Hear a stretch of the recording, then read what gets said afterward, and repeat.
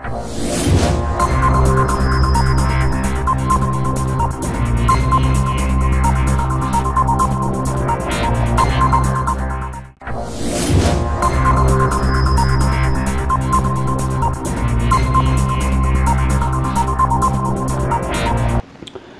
friends welcome to Atulya coaching जैसा कि हम सबको पता है कि स्कूल कोरोना की वजह से अभी बंद है, लेकिन ये भी पता है कि बंद अब नहीं रहना चाहिए।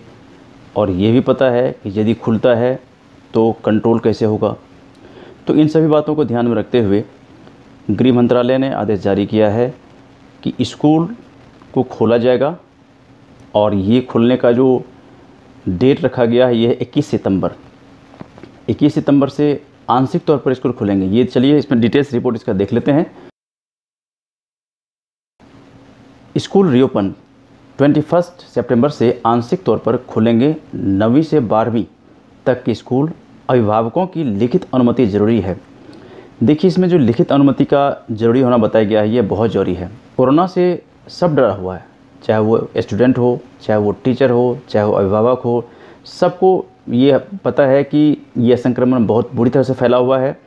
और बात करें हम आजकल की तो कोरोना का रफ्तार अभी बहुत तेज़ बढ़ रहा है। तो ऐसी स्थिति में स्कूल का खुलना बहुत ही चेतावनी भरा हुआ, बहुत ही रिस्क भरा हुआ है और इसमें हमें बिल्कुल संयम रहते हुए काम करना पड़ेगा। आइए देखते हैं। केंद्रीय स्वास्थ्य एवं परिवार कल्याण मंत्रालय ने स्कूलों, कौशल केंद्रों एवं पीजी एवं डॉक्टरल कोर्स संचालित करने वाले उच्च शिक्षण संस्थानों के संचालन के लिए कोरोना से बचाव की मानक संचालन प्रक्रिया, एसओपी जारी की है। गृह मंत्रालय ने 21 सितंबर से स्कूलों और उपरोक्त श्रेणी के उच्च शिक्षण संस्थानों को खोलने की अनुमति दी है। एसओपी में कहा गया है कि स्कूल, कॉलेजों, कौशल संस्थानों को खोलने से पूर्व उन्हें अच्छी तरह से सैनिटाइज करना होगा। हालाँकि यह स्वैच्छिक होगा, यानी छात्रों के ऊपर होगा कि वह स्कूल जाना चाहते हैं या नहीं। जिन स्कूलों या संस्थानों में क्वारंटाइन सेंटर बनाए गए थे, उन्हें पूरी तरह से संक्रमण रहित करना होगा। कक्षाओं में कुर्सियाँ छः फीट की दूरी पर लगाई जाएँगी। शिक्षकों एवं छात्रों के लिए मास्क पहनना अनिवार्य होगा।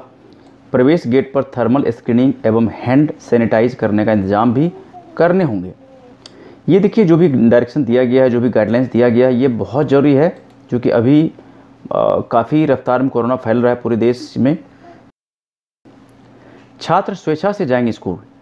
देखिए, यहाँ पर यह भी कंडीशन लगाया गया है कि जिन छात्र को लगेगा कि हमें स्कूल जाना है, वो जा सकते हैं। ऐसा कुछ नहीं कंपल्सन नहीं है कि सब स्कूल सभी छात्रों को स्कूल जाना ही पड़ेगा। छात्र अपनी स्वेच्छा से स्कूल जाएँगे।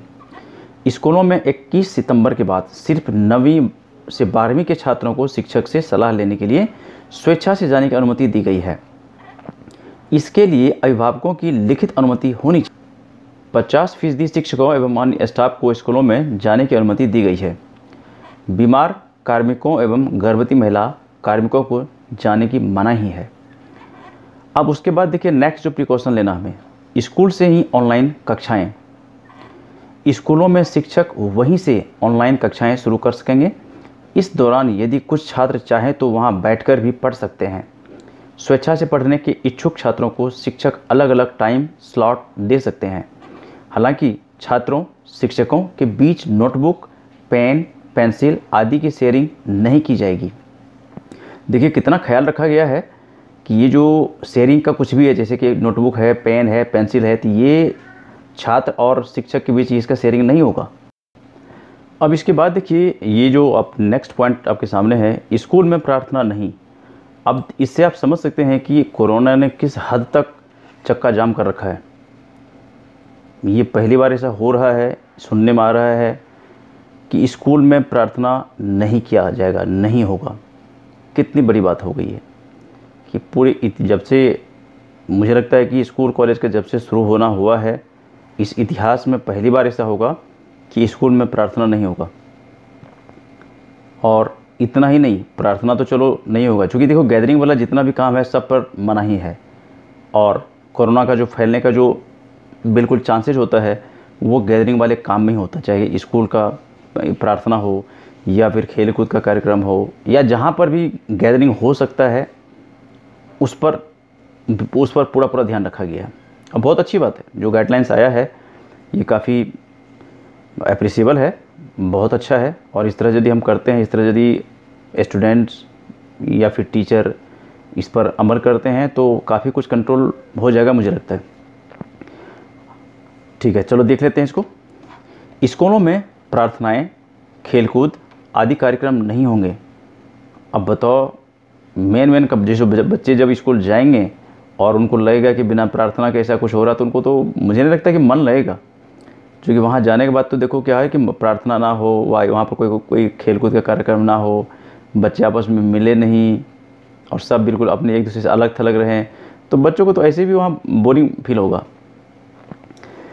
उसके बाद स्कूल, कॉलेजों में स्विमिंग पूल आदि भी बंद रहेंगे। मतलब ये समझिए कि बच्चे केवल जाएँगे स्कूल और टीचर से दूरी बनाएँगे, बच्चे अपने आप से बच्चों में अपने आप दूरी बनाएँगे और कुछ शेयरिंग नहीं कर पाएँगे, ये सब सारी बंदिश हो गई। ये सब कुछ मना ही हो गया, ऐसा कुछ नहीं कर सकते बच्चे। टीचर कुछ बच्चों को दे नहीं सकते, ना नोटबुक दे सकते, ना पेन दे सकते, ना ले सकते। बिल्कुल इतनी दूरी बना के रखना है। कितना बिल्कुल अलग रहेगा व्यवस्था ये। कोरोना ने हर तरह से व्यवस्था को डगमगा दिया। और अभी कुछ कह नहीं सकते, आने वाले दिनों में क्या होगा? क्योंकि हालात जैसा अभी जब तक वैक्सीन तैयार नहीं हो जाता सक्सेसफुली तब तक कुछ भी कहना मुश्किल है। सभी शिक्षण संस्थानों को हेल्पलाइन नंबर और स्थानीय स्वास्थ्य अधिकारियों के नंबर भी प्रदर्शित करने होंगे। देखो ये भी ज़रूरी है अब जितने शिक्षण संस्थान है कोचिंग इंस्टीट्यूट है स्कूल है तो वहाँ देखो आसपास देखो पहले क्या होता है किसी को कोई परेशानी होती है तो पहले तो वहाँ पर इस स्कूल में या इंस्टीट्यूट में नंबर जो होगा बिल्कुल सामने डिस्प्लेड रहेगा कि, कि लोकल जो स्वास्थ्य अधिकारी हैं उसका नंबर और उसके बाद सेंट्रल नंबर है या स्टेट नंबर है, वो भी नंबर रहेगा उस पर। तो ये ज़रूरी है कि जो भी हेल्पलाइन नंबर है वहाँ पर सामने डिस्प्लेड हो ताकि कोई भी परेशानी आने पर तुरंत कॉन्टैक्ट किया जाए स्वास्थ्य अधिकारी से। डॉक, या डॉक्टर से। आप इनका भी रखना होगा ध्यान। एसी को लेकर पूर्व के नियम रहेंगे जो 24 से 30 डिग्री के बीच रहेगा। ये देख लीजिए आप। यानी कि एसी का जो टेम्परेचर रहेगा, वो 24 से 30 डिग्री ही रखना होगा। उससे कम करने पर दिक्कत हो सकती है और कुछ कोरोना को लेकर के जो भी डर बना हुआ, उसमें कुछ खतरा पैदा हो सकता है। इसलिए टेम्परेचर जो है 24 से 30 ही रखना होगा। कमरों और उसके बाद रूम में क्या है? और रूम क्या होता है कि वेल वेंटिलेटेड होना चाहिए। यानी कि वेंटिलेशन पूरा होना चाहिए। आरोग्य सेतु ऐप की बात कहा गया है, जहाँ तक संभव हो सके यह फ़ोन में होना चाहिए।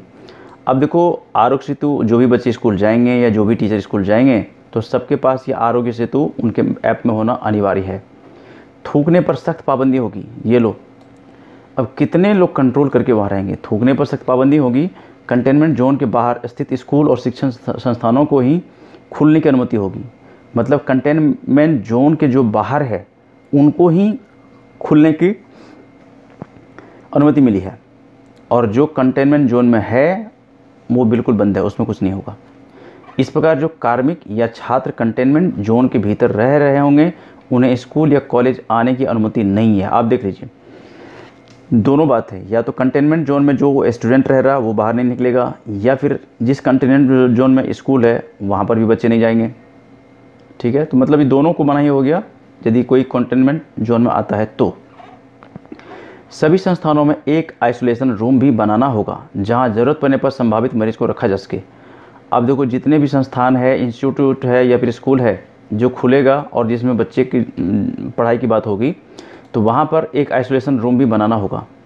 मतलब यदि एक कोचिंग इंस्टीट्यूट है, मानो छोटा सा, दो कमरे का है, चल रहा है तो उसमें एक उनको पार्टीशन करके बनाना होगा आइसोलेशन रूम जिसमें ज़रूरत पड़ने पर वहाँ पर मरीज़ को रखा जा सकता है। उसके बाद स्कूल कॉलेजों को मास्क, सैनिटाइज़र आदि का भी पर्याप्त इंतज़ाम करना होगा।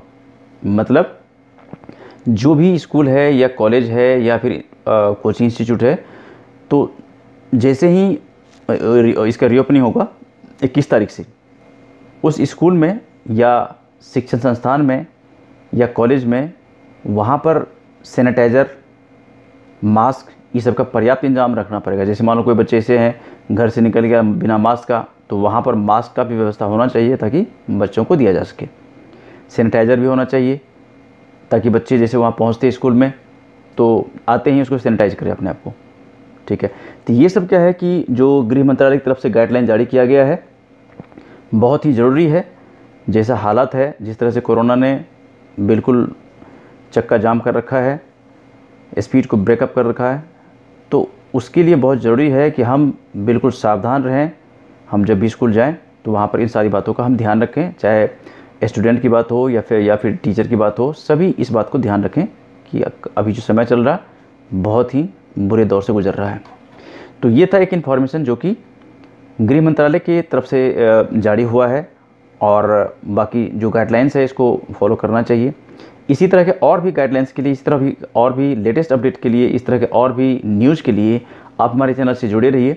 यदि आप अतुल्य कोचिंग चैनल पर पहली बार आए हो आप, इस चैनल को सब्सक्राइब कर लीजिए। अपने मोबाइल का नोटिफिकेशन बिल को ऑन रखिए ताकि इस तरह का अपडेट आपको लगातार मिलता रहे। और कुछ कहना चाहते, पूछना चाहते तो आप हमें कमेंट्स भी कर सकते हैं। मिलते हैं हम एक दूसरे वीडियो में जहाँ पर इस तरह की और भी हम बातें करेंगे। तब तक इस वीडियो को इतना प्यार से देखने, सुनने, समझने के लिए आपका बहुत बहुत धन्यवाद। Okay thank you Baba